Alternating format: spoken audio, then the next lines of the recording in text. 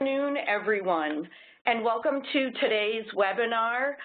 Author David Sheff will present um, a myth-shattering look at addiction prevention and treatment based on research. Um, thank you um, for joining us today.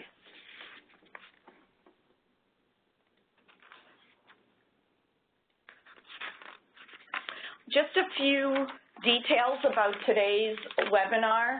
If anyone needs captioning right now, there's a link in the, um, in the chat that you can click on and you should be getting captioning. This webinar is being recorded. You'll receive an email with a link to the recording in about a week. Um, during the last 10 to 15 minutes of this webinar, you'll be able to ask David some questions. So everyone is muted automatically when you join the webinar, so you will be using the chat box to ask your questions and just make sure that you chat your questions to all participants. For those of you who are medical librarians, you can receive one CE credit for attending this webinar. Um, just please complete the evaluation um, at the end. Um, that's required for you to um, receive the credit.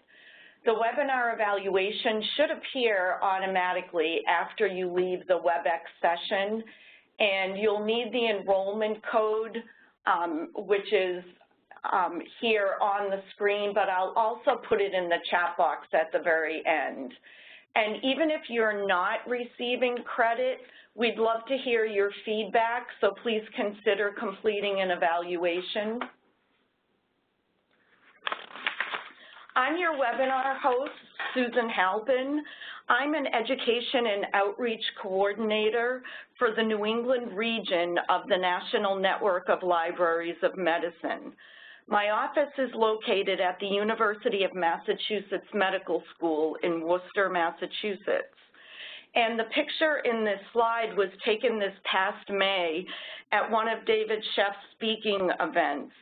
David was kind enough to chat with me and was so gracious um, to do this webinar for us. So this, that's a picture from that event. So while I move on um, and tell you a little bit about the National Library of Medicine, um, if you would like, we'd love to know who you are. Uh, if you could give us your name and where you're located and what you hope to learn in the chat box, that might be helpful um, to David as he speaks to you today.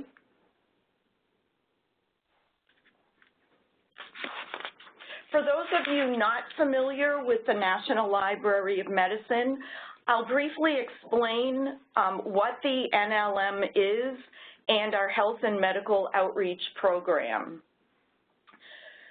So the National Library of Medicine, or NLM for short, is a physical library located on the campus of the National Institute of Health in Bethesda, Maryland, it's the largest biomedical library in the world and one of the federal government's largest providers of digital content.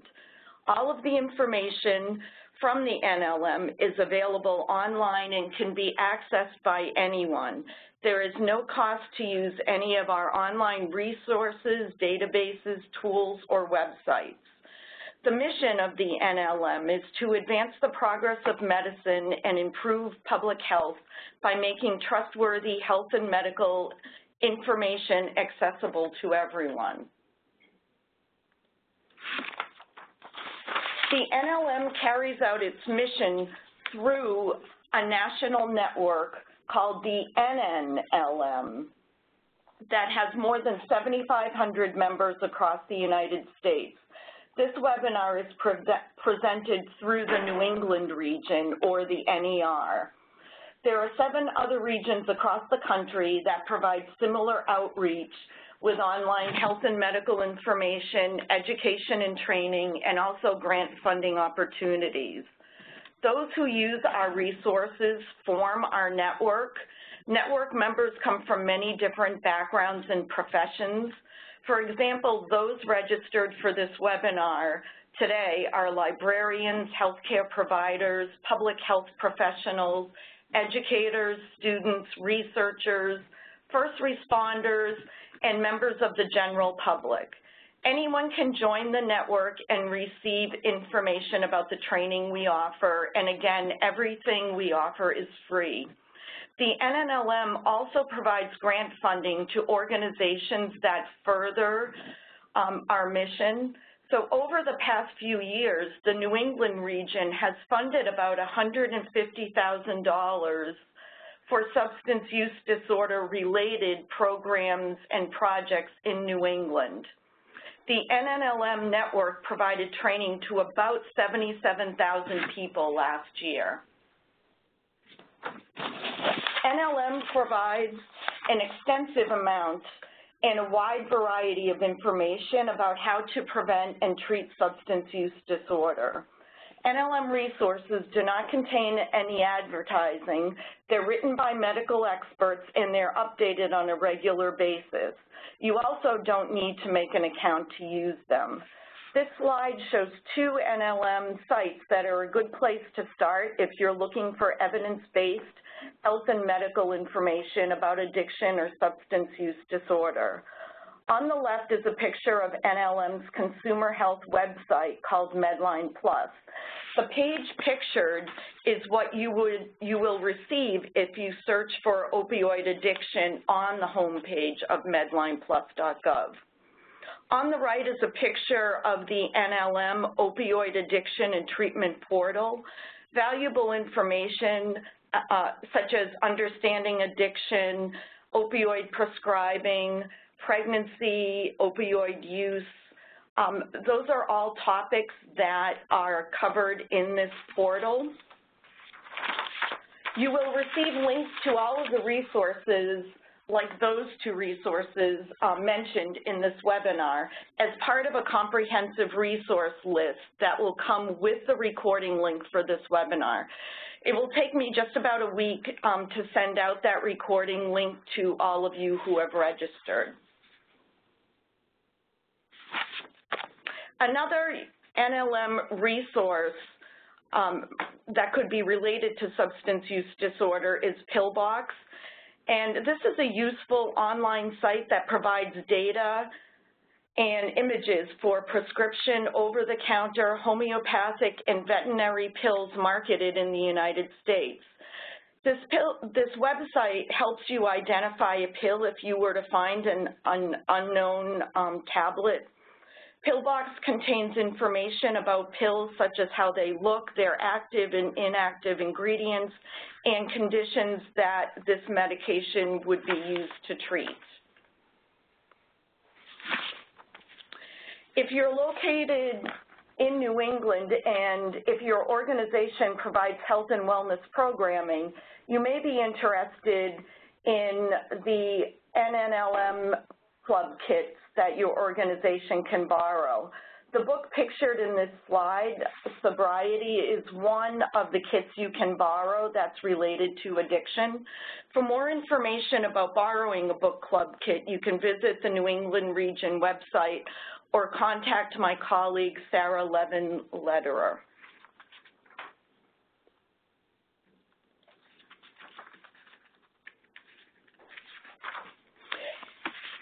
it's my honor and pleasure to introduce you to David Sheff. He's the author of several books, including the number one New York Times bestselling memoir, Beautiful Boy. His writing has appeared in the New York Times, New York Times Magazine, Rolling Stone, Wired, and many other publications. David's ongoing research and reporting on the science of addiction has earned him a place on Time Magazine's list of the world's most influential people. David followed the book Beautiful Boy with the book Clean, Overcoming Addiction and Ending America's Greatest Tragedy, which is, which was also, or which is also a New York Times bestseller. Clean was the result of the years David spent investigating the disease of addiction and America's drug problem, which he sees as the greatest public health challenge of our time. And on a personal note, David's book, Clean, was the campus read at, um, at my facility, UMass Medical School, during the fall of 2016. And the research presented by David in this book was instrumental in my personal journey to understand addiction as a disease. In CLEAN, David shares the information he gathered from interviewing scientists, doctors, counselors, and those who have a substance use disorder and their families. In CLEAN, I learned about the latest research in psychology, neuroscience, and medicine as they relate to addiction. The Partnership for Drug-Free Kids honored David with a special tribute award in recognition of his voice and leadership for families who are struggling with addiction. And in December of 2019, David will become the first recipient of the American Academy of Addiction, Psychiatry, Arts, and Literature Award. David recently launched the Beautiful Boy Fund, devoted to making quality evidence-based treatment available to people who need it and identifying and supporting research to further the field of addiction medicine. Now I'm going to turn the presentation over to David Sheff. Take it um, away. Um, uh, okay. Susan, um, thank you so much, and I really want to thank the National Library uh, of Medicine um, and everyone who's here today. Susan described who, who is here, and I, um, you guys are all my favorite people. people trying to help um, people in, in, you know, whatever your, uh, your field is exactly and how you're contributing, and also people who may be here who are here because, you know, you have been affected by addiction or mental illness um, in your family.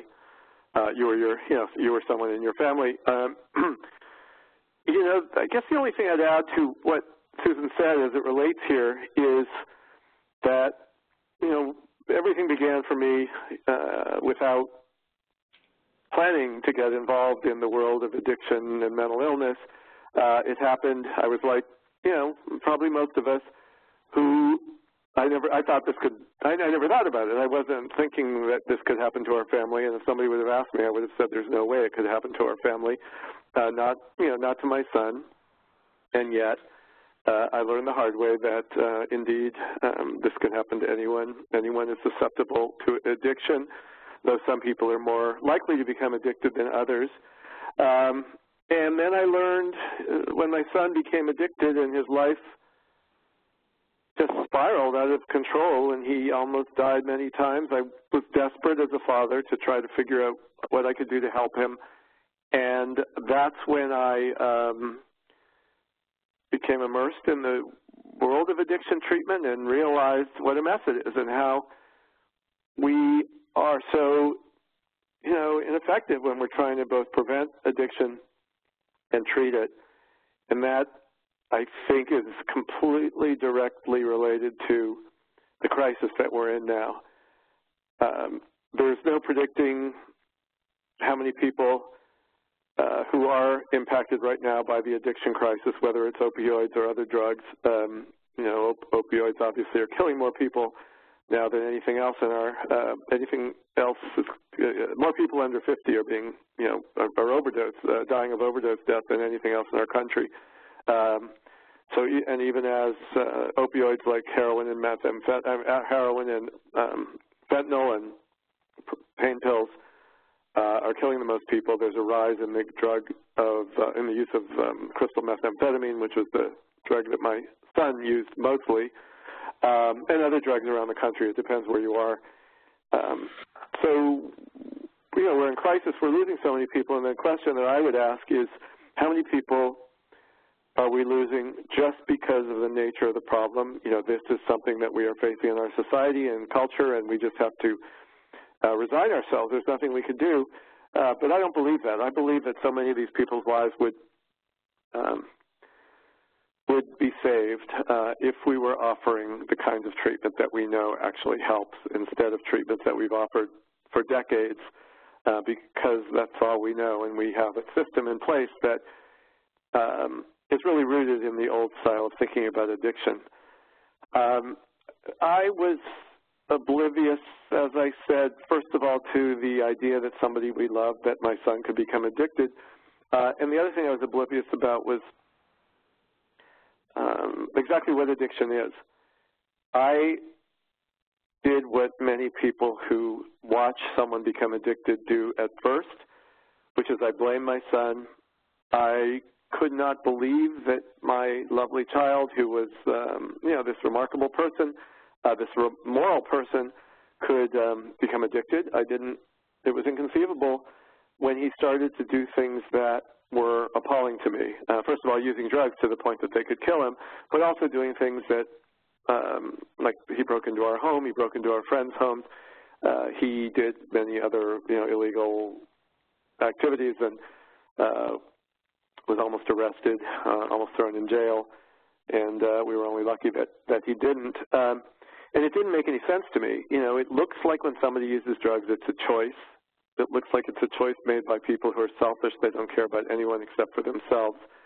And what I learned um, is that no one chooses to become addicted. The reason that people do become addicted is that they become ill with uh, a substance use disorder. You know, uh, an expression that either didn't exist then, probably didn't even exist. Uh, certainly, I'd never heard of it. Uh, once I started to be educated in the field of addiction and addiction medicine, and I studied, in order to, to figure out what was going on with my son, I studied, uh, you know, what is addiction? Why are we so inept when it comes to preventing addiction? Can we? Uh, treatment? Why are we treating so few people? Um, that's when I, you know, I immersed myself basically in 10 years of research. I met with treatment providers of every kind. I met with people suffering addiction, their families, researchers who are trying to understand how we can better treat people who are addicted.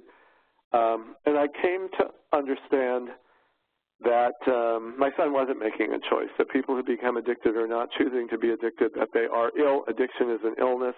Uh, and the reason that that is critically important is because of the way that we look at and treat people who are making moral, bad moral decisions, you know, who are making decisions that are hurting people, uh, including criminality, uh, we treat them with disdain, with judgment. Uh, we punish them. But when we understand that a person is ill, we everything changes. Our paradigm changes. The way we think about cha them changes, hopefully, and, the, and instead of being um, angry, judgmental, and as I say, punishing them, we embrace them uh, we look at them with compassion, and that's what happened with me and my son. Uh, I went from being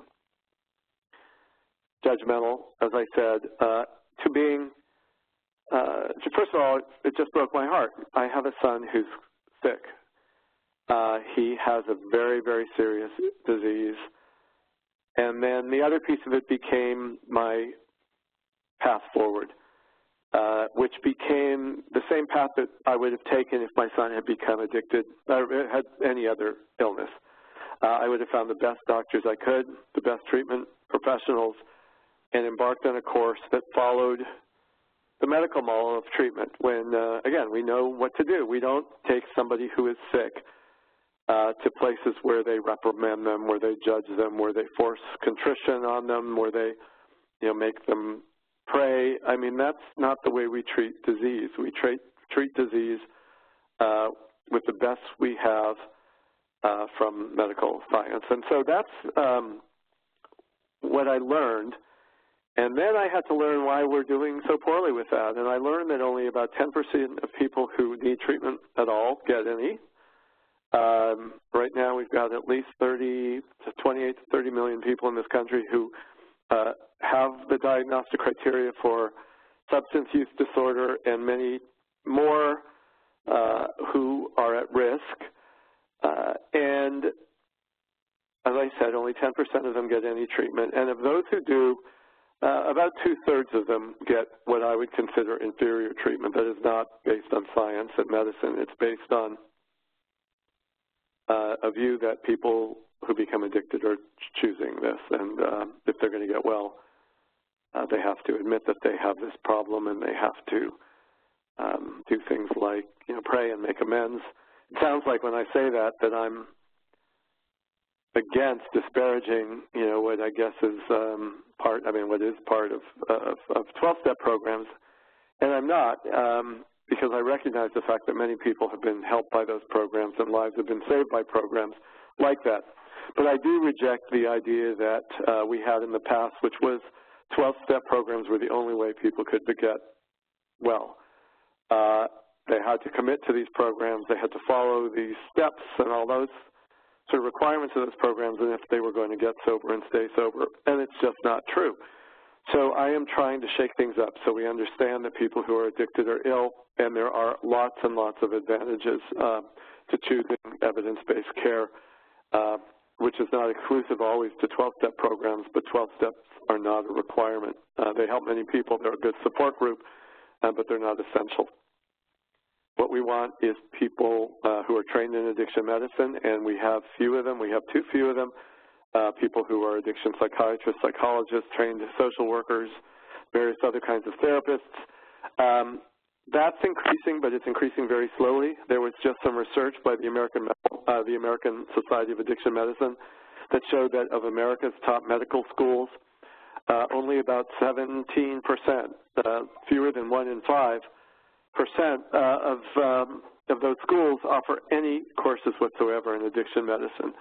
So we can't even blame our professionals when people go to them, when I would go to them and ask for help and they wouldn't know what to do or they would give me bad advice uh, because they've never been trained. So it's a cycle. We have to train potential doctors and therapists and psychiatrists and psychologists and others uh, in addiction medicine because addiction medicine is, is a specific brand of those uh, other forms of medicine, of, of general medicine.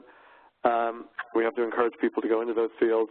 And unfortunately, you know, it's a growth field because there are so many people that are suffering. There are lots of opportunities for people in this field, and there's a lot of rewards for people in this field. Uh, if you are in this field right now, you know that it's hard, it's challenging. You know, addiction is a very, very serious and complex illness. But people get well, and when people get well, you change their lives for the better. I, um, you know, Susan, unless you'd like me to talk more, uh, I'm happy to, but maybe instead it would be great to have a conversation with people who were part of the, you know, the, the webinar and uh, who have questions, and uh, we can go from there. Sure. Um, so everyone who's here, if you have a question for David, why don't you put it in the chat box, and I will um, monitor that. And David, I have a question for you um, that can get us started with this conversation. So I saw the movie Beautiful Boy, and it was um, it was a really hard movie to watch, and I was wondering how difficult it was for you and the members of your family to have your painful story you know, out in the public and um, a movie? It was, uh, you know, what can I say? It was, it was both. I guess what I would say is that it was both terrifying and uh, and wonderful. Um, I'll get back to the wonderful, which, in brief, is that you know more people watch movies than read books, I guess, and um, so the message was communicated to many, many more people who wrote to me and who I heard from and I still hear from all the time who watch the movie. Uh, and what they say basically is that they feel less alone because they recognize their own family uh, in the family in the movie. For me personally, it was you know, both terrifying to imagine this coming out and devastating to watch it. Uh, I knew that there were, you know, parts of my son's journey that I didn't know about, that I weren't, that I wasn't aware of, I knew that, you know, he had suffered in ways that were inconceivable to me, but somehow watching it was harder. Um, it was not harder, of course, when we were in the throes, but it was harder than reading about it. It was harder than talking to Nick about it and hearing his stories. But watching this boy in the movie who, you know, who was Nick in many ways. I mean, he, when Nick was younger, he looked like that actor Timothée Chalamet. He moved like him. He talked like him. He his behavior was very similar. So that was, um, it was devastating to watch that child spiral out of control to the point where he was going on the internet, learning how to shoot drugs, shooting drugs, Uh, it was very um, graphic.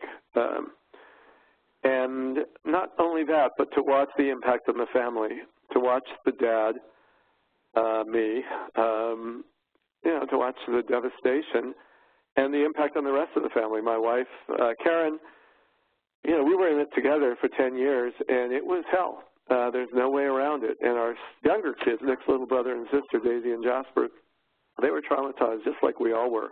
And it wasn't only because they were worried about their big brother, concerned about him, what had happened to him, where did he go, but also their parents were traumatized, and so our family was, and that's something that people who are in this world uh, either know already uh, or should brace themselves for because this, they talk about this being a family disease, and it is.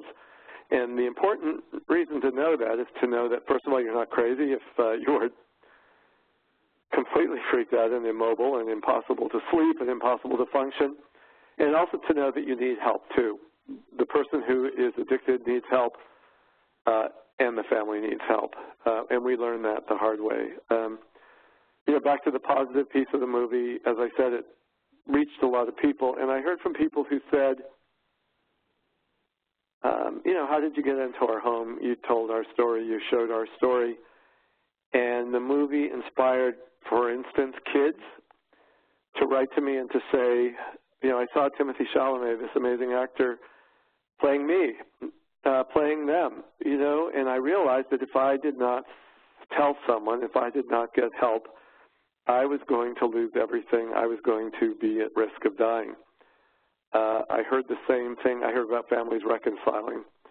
People who hadn't spoken to each other in years or decades uh, reaching out because they realized whether it was a child recognizing their parent's suffering or a parent realizing that their child was not, was what I had to learn, you know, was not that he was a bad kid making appalling choices but he was in pain all the time, and you saw that in the movie. I thought that, you know, Steve Carell did an amazing job. You know, when I met him before the movie um, was made, and he was thinking about playing the part, he said he read the script and he read the book, and though he had never experienced addiction himself or in his immediate family, um, you know, he had he was a dad, and he understood the horror of watching your kids descend in something as scary as drug use.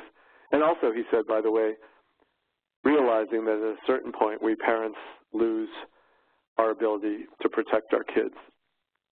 Um, so, uh, you know, so it was hard. Uh, it was hard and it was gratifying, uh, both.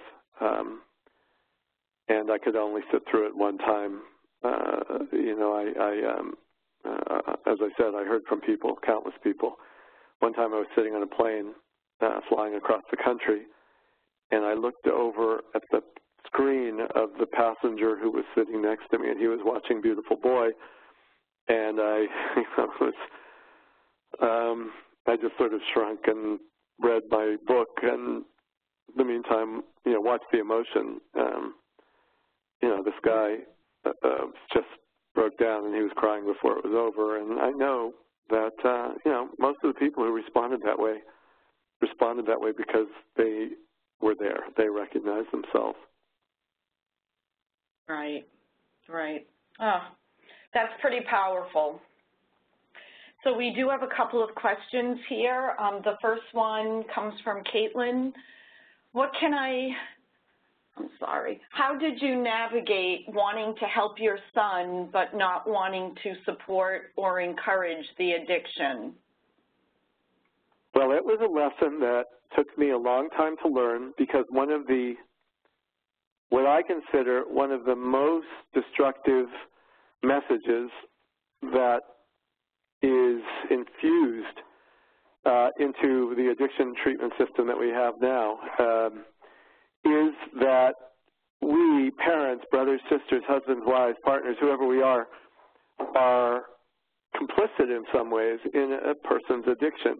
Uh, and so therefore, you know, we are enabling them. It's our, you know, we're not allowing them to hit bottom. Um, we are protecting them. Uh, the first thing I would say about that is, you know, that's an evil message because that's our job um, to try to help people we love. And there's a scene in the movie that is harder for me to watch than the scene in which, you know, the, the boy, um, my son, was using you know, life, life-threatening drugs.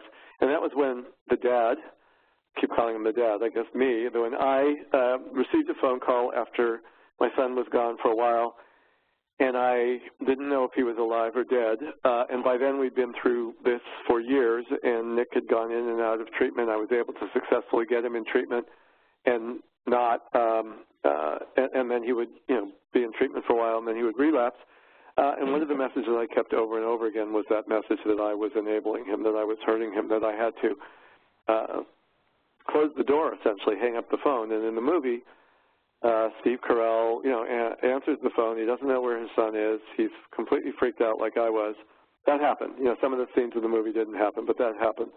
Uh, and I uh, did what I was told. Uh, I hung up the phone. Uh, I told Nick, you know, he knew what to do by then, you know, go get help. I couldn't help him. And uh, I was lucky because the next day I heard from him and he was okay. Uh, and he did go back into treatment. But I hear every single day from people who were just like me.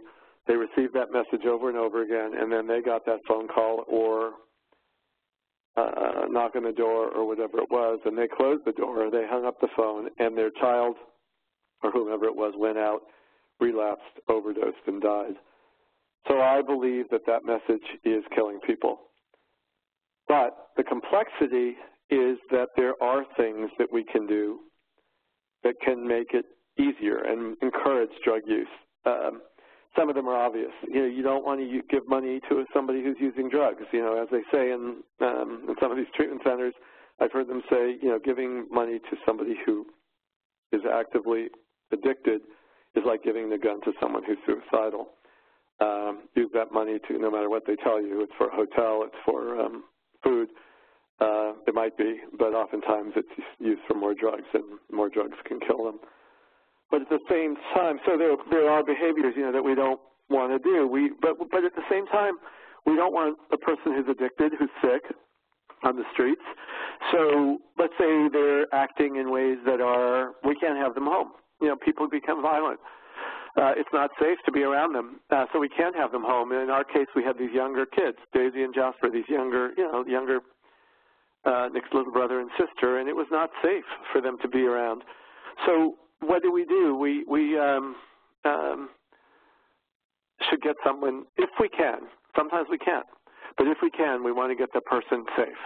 So maybe it means a residential treatment program if that's an option. Maybe it means a sober living house. Sometimes maybe it just means a program that allows them to live uh, and uh, they're fed and they get some drug treatment. Uh, we want to do the best we can, but we don't want somebody whose problem, who's sick, uh, we don't want them to get worse. And if there's anything we can do, we want to intervene. Yeah. All right, we have another question here. Um, what was the best professional advice that you got? Uh, there was a combination of, um, of messages that I got that finally helped that were what I wish we had gotten early. Uh, one of them was that we did have to treat this as an illness. Uh, we could no longer try to punish Nick or send him to programs that were going to shame him and blame him and not offer him the treatment that he needed. The second one was that um, this was critical. We finally learned, again, the hard way. It took us years to find this out we learned how often people who become addicted have co-occurring mental disorders. So what we finally did after 10 years of this, after Nick almost died uh, 10 times or so, uh, we brought him to an addiction psychiatrist who psychologically put him through psychological tests and it determined that lo and behold, Nick had very serious mental illnesses. Uh, he has depression, he has bipolar disorder, he has anxiety disorder. If we had known that way early and got Nick the care he needed for his mental illness as well as his addiction, you know, who knows? He still might have almost died all those times, but maybe not, because so much of his drug use, we realized, was related to his suffering from these undiagnosed and untreated conditions. Uh, it's prevalent. Uh, it's a piece of much of the treatment system that is ignored. Uh, this likelihood of co-occurring disorders. There's research that proves this. It's not just me. It's not just Nick. Uh, most people who become addicted also have a psychiatric or psychological disorder. Sometimes they have other problems like eating disorders or uh, learning disorders. Oftentimes they've experienced trauma. We need to help with those conditions even as we treat their addiction. So those are two things. You know, um, the other the other piece is that um, addiction isn't cured uh, in 28 days, which is what many treatment programs offer. Some offer even less. Um, detoxing a person is not enough. Uh, this is a complex problem that usually continues over years and years and often decades. So the idea that it's going to be treated in a month is absurd. Uh, and yet, often insurance won't pay for more than a month. Often programs don't offer more than a month. Uh, so I learned that as well. There was a lot more. Uh, there are myths around addiction that a person has to want to get treatment before they can get well. Uh, research has proved that that's not true either. Uh, people who go into treatment who go there for whatever drives them to treatment, either their own choice, uh, somehow their family gets them into treatment, even treatment that's ordered by a court, uh, they have the same likelihood of getting sober and staying sober if they get good treatment. So I learned all that. Uh, I learned it's not easy, uh, but I learned that a simple, you know, two-word message that should be our mantra if we're trying to sell, help somebody who's sick uh, is don't give up. Mm. Wow.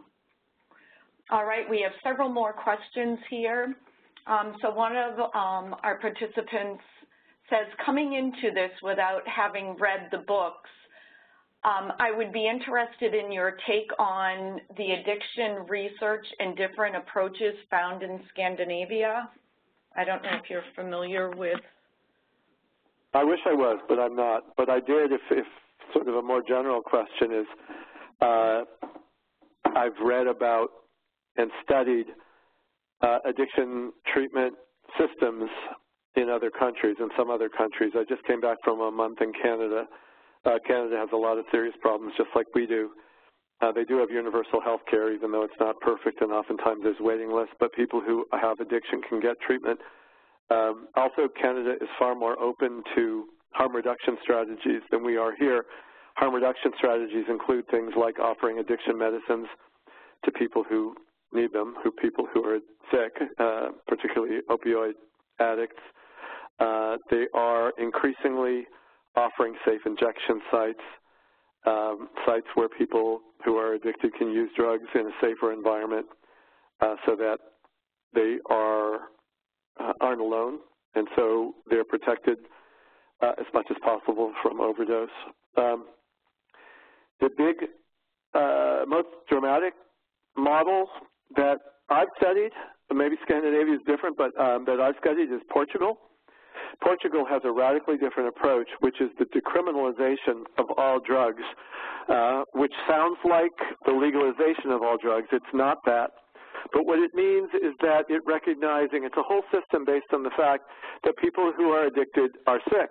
And so we want to get them treatment. And so if a person, if they commit a violent crime, they still are arrested. Uh, the consequences of her addiction sometimes are horrific and irreversible.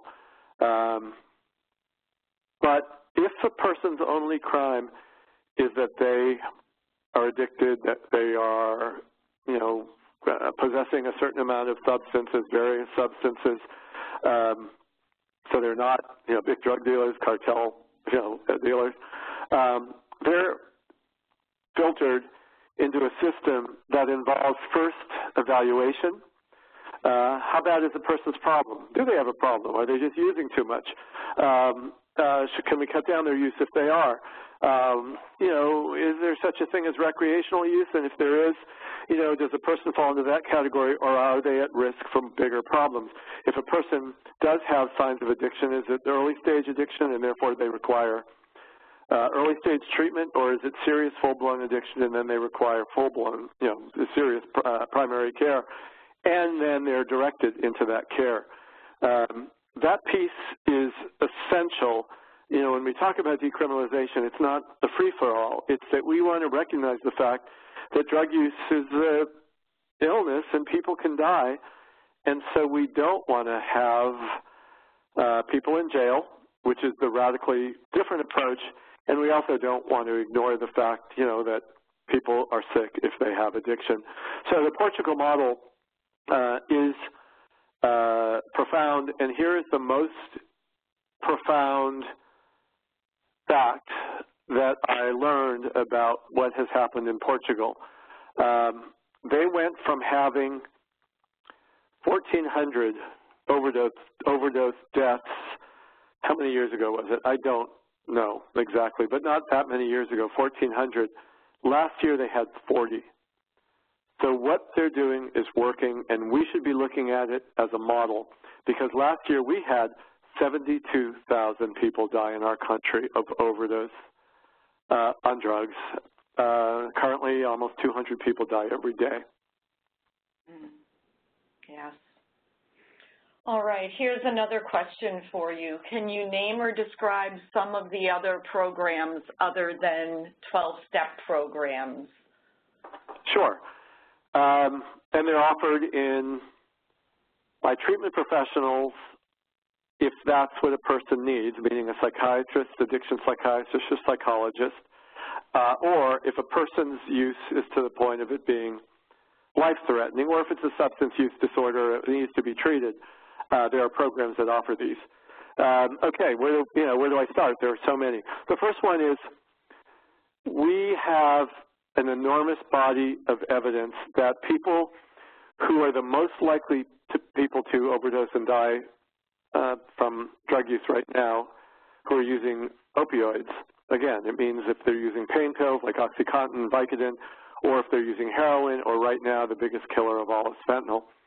Uh, we know that if that person is put on a medication, uh, possibly methadone, but the medication now that is used most often for a lot of reasons. Um, uh, it's safer, more accessible for people, easier for people. To, doctors can prescribe it, um, so people don't have to necessarily go to a methadone clinic, et cetera.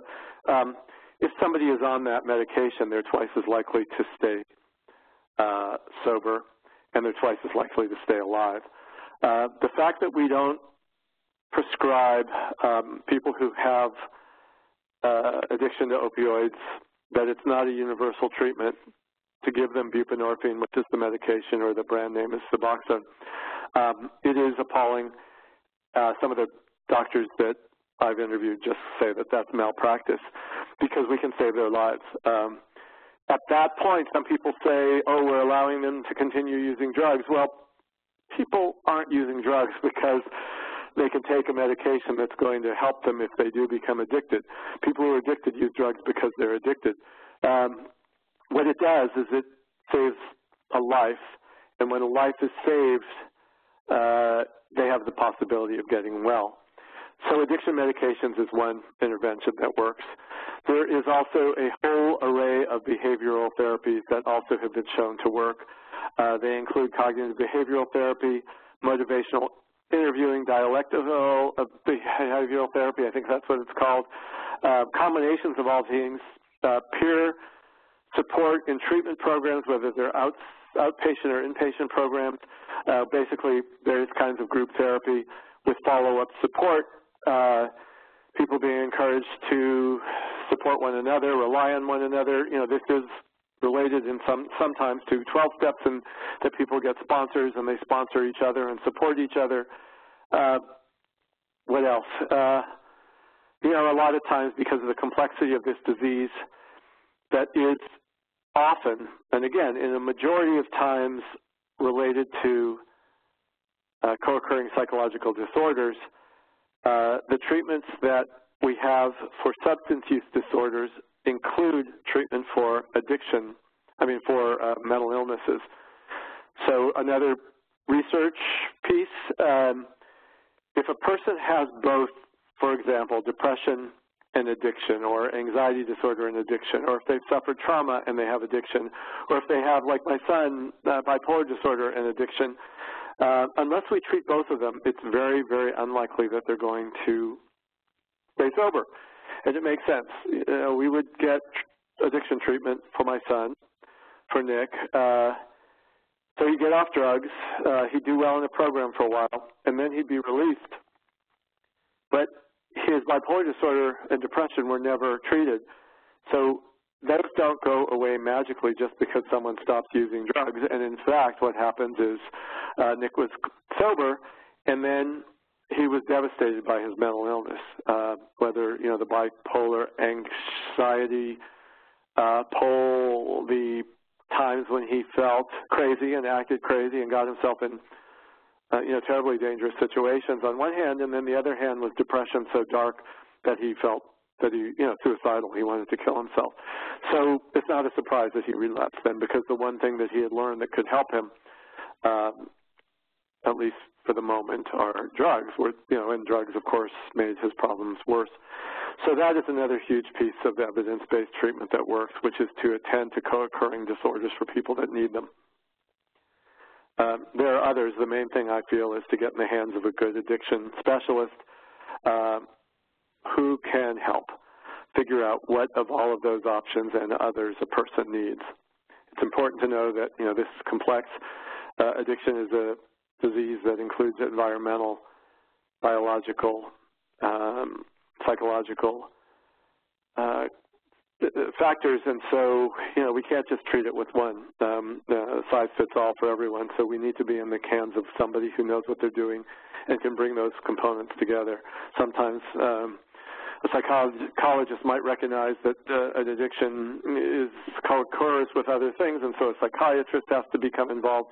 Medications possibly have to be. I mean, that it's it's creating a safety net uh, and a whole array of treatments that um, are necessary for any individual.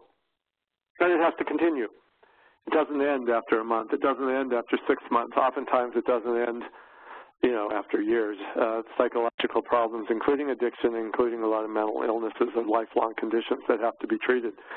Um, which sounds, you know, maybe depressing to people, um, but sometimes people get sick with diseases that are chronic and they have to continue to be treated. And, you know, that's okay. If somebody has diabetes, different kinds of heart disease, it's possible that someone has to be on treatment for a lot, many, many years or else even potentially forever. Um, but some diseases are chronic and we have to look at it that way, and that's okay. Because people who are being treated for addiction, who are uh, who stop using and whatever treatments they're benefiting from help them continue to uh, stay sober, um, their lives are going to be able to improve. They can have, as I said, so, you know, the lives that they've always wanted. Uh, and so maybe they do have to see a psychiatrist or psychologist sometimes. That's what we have to do sometimes when we're sick. Same thing. Maybe we have to be on medications. Uh, same thing. You know, sometimes we have to do that if we're sick. Right. All right. Here's a question that I haven't seen um, before. The scope of impact that addiction has on the entire family seems to be something that is just now starting to become better understood. Do you think that more supports for children and families who are going through these situations is even something that's on the radar? So, for example, for your younger children and for you and your wife, or is it just the family's responsibility to find their way out after the aftermath? Uh, no, you you know the person who wrote this uh, the last time asked for a list of treatments that are alternatives uh, to 12 steps. One of the essential components to treatment is attention to family. Um, we all, you know, again, there's two things about that. One of them is obvious. It's like, um, you know, people don't live in a vacuum. They live in a whole constellation of factors, including their family. And uh, so people who have addiction benefit when their family is treated. And in addition, families are overwhelmed oftentimes and families can be destroyed. So families need treatment too. Um, it took us way, way too long to figure that out for me to understand that. And I resisted it even when I did because my first feeling was that, um, you know, no, we were fine. It was Nick that needed help. He was the one who was sick. Uh, but I learned very quickly that that's not true. Addiction is a family disease. We were all ill and we needed help. So finally we did get help. Uh, we relied on family therapist who was an addiction specialist, uh, and it can it was transformative. I can't tell you how powerful and profound it was. It didn't solve our problems, but it allowed us to get support, allowed us to help each other. Uh, it allowed my marriage to survive. I mean, I don't know. People break up. Uh, and I think maybe the most important piece of it for me is that it helped my younger kids who were devastated by their brother's addiction and its impact on our family. So family therapy for us was huge. Um, there are other, uh, you know, some people should be engaged when possible. I mean, some people don't have their families um, possible, present. Uh, some people have alienated their families um, or families have rejected them. Uh, so it's not possible. But when it is, uh, families should be involved in treatment. Now, is that happening? Way, way, way, way, way uh, too rare. But it is happening more and more, and that's partly because of the research that shows that it should be happening. Uh, it also is partly, yeah, I mean, it's all together. Uh, we are understanding the impact on families uh, as this, you know, there's no way to spin the current addiction crisis in a positive way. It is a nightmare. Uh, but, you know, because of it, we're talking about it more. Uh, we are insisting on better treatment options for people who we love. Uh, we are recognizing the fact that families are in trouble too, and so programs are often uh, increasingly uh, inc including you know addiction, I mean uh, treatment for families as well. Uh, and as I said, there's a whole movement that is changing. Also, I talked about earlier about the training or the lack of training uh, by uh, treatment professionals or for treatment professionals, uh, and that's changing too. It is uh, as, as the recognition of the importance of families in treatment, um, people who are being trained are being trained in family treatment as well. Uh, oftentimes, programs can have treatment as part of the programs. Oftentimes, uh, it is um, it is uh, you know is necessary for a program to help families uh, get access treatment, whatever that might be. David, what do you say to those public librarians who um, are involved with um, finding people who have overdosed in the bathrooms of the public library and they feel like, you know, this is not what I signed up for when I wanted to become a librarian. Um, I'm having real difficulty, um, you know, with this aspect of my job? What a good question. Um, it happens all the time. Many of you I don't have to tell that to. Um, so what do you do? Uh, first of all, yeah, you didn't sign up for it. You, you know, I would imagine most people who sign up to be librarians have a love of books and a love of learning, and they want to help people um, with that. But the reality is, um, you know, fair or not, that's, you know, you, it often, depending on where you are in communities, it can happen a lot where people show up uh, in the library. Uh, I've been in San Francisco, the San Francisco main branch of the San Francisco Library, and I've seen people shooting up in, not even in the bathrooms, but even in the library itself. So there are two things uh, I would say. The first one is every library should have, uh, must have uh, the medication Narcan uh, in the library. Um, you know, it's called naloxone, and it's available. Um, you know, even pharmacies now carry it, but it is critical because that medication will reverse the overdose of a person who is, uh, you know, who's, who's someone who's overdosing on uh, an opioid uh, it can save their life while emergency workers come. Uh, every library should have it. Every airline flight should have it. Any school should have it uh, because we never know. I carry it with me all the time. Uh, it's not the be-end all, you know, end-all solution uh, but fair or not, um, that's the first, um, you know, you want to be able to save lives if you can. Uh, and then hopefully the emergency workers will come and take over at that point. Uh, the other piece of it is uh, a network of, I mean, the ideal, it's hard because it doesn't often exi uh, exist, but the ideal is to have somebody you can call and get support so that this is not, does not fall on the shoulders of, of, of librarians. It falls on the shoulders of the people who are trained uh, in healthcare to intervene, to come and, you know, help a person get into treatment, um, if need treatment.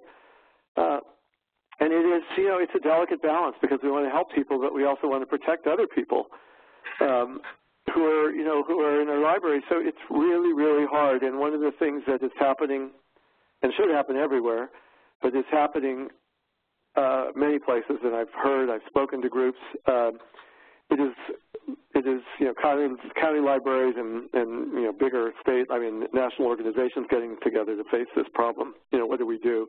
No one has an easy solution. There's no silver bullet solution, but um, you know I think that it is a reality now, and we have to face it. Uh, I wish there was ways that we could help more, that the rest of our community could help more. Uh, it's true of libraries. It's also true of schools. Um, you know, people uh, are overdosing in high schools, uh, in colleges. You know, they need to have Narcan available, and they also need to have intervention so that you know we can help people who need who need it. And thank you, by the way, for those of you who do that work, because it is. Uh, I've relied on the libraries uh, for all of my books. I love our libraries. I spend time in libraries. I do a lot of my research in libraries. I, you know, sometimes actually work in libraries when I'm traveling. Um, and now, you know, I'm grateful to libraries for taking on this um, this burden, which it really is. It's a burden that should not be on, you know, falling on our libraries. So anyway, so thank you. And I see, Susan, that it's um, it looks like it's time to that we're going to have to end. So I want to thank you for doing this and, and thank all the people who've been here uh, participating. Wow. And thank you so much, David, for giving us your time this afternoon and also sharing, you know, your answers were the work um, that um, you do. So we appreciate that. Um, so for people getting, um, so anyway, David, I have one, one more question for you. There were some um, questions that we didn't get to um, ask you, if I were to email those to you, would you be able to give us some brief answers to those? Absolutely. There were probably, okay, there were probably five or six. All right, All send right. them along. And uh, again, thank you. All right, and um, for those of you who joined us this afternoon, um, thank you for your time. I wanted to point out that we have a couple of um, upcoming webinars you may be interested in. Um, on December 5th, Fred Muench, who's the president of the Partnership for Drug-Free Kids, is going to be giving a presentation um, about engaging parents and caregivers. And the partnership has a wonderful website that is chock full of resources. So Fred is going to be sharing those free resources um, with all of us in that presentation. On January 30th, we also have um, the person from um, the documentary film Beyond the Wall, uh, Louis Diaz, is going to be talking with us about um, the documentary that was made about his work um, being a substance use disorder um, counselor with the Middlesex DA's office um, here in Massachusetts and the work he does out in the community for those who have formerly been incarcerated and are returning to the community. So that's struggles and strategies for survival beyond the walls of um, jail. We also have a special webinar coming up that I haven't um, gotten the link um, so you can register for it. Um, I just haven't had time to do it. But this is about substance use disorder and heredity. Um, this is a candid interview with three generations of one family who each generation has been affected by substance use disorder. This is a student from one of our recovery high schools here in Massachusetts, and her father and her grandmother both talk about um, the complexities of um, this disease. So um, keep a lookout for that.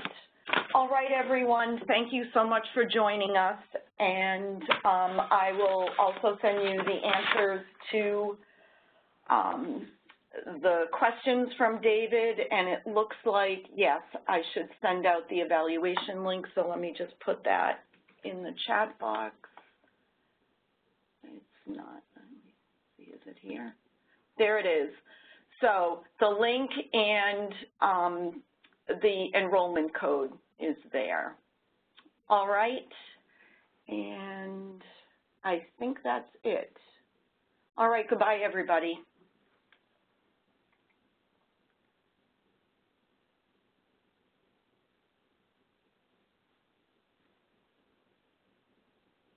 Oh, the link doesn't show. Let me try it again.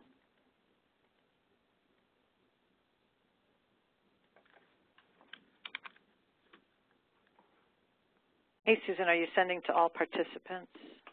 It's Rebecca. Oh, it's all, so it's all attendees? That's what I, Mm, Try, try all participants. I don't know, maybe because I'm not an attendee, I didn't see it. I'm a participant. I mean, I'm a oh, participants, okay, here we go. Okay, so Freya says she sees it, but it's dead.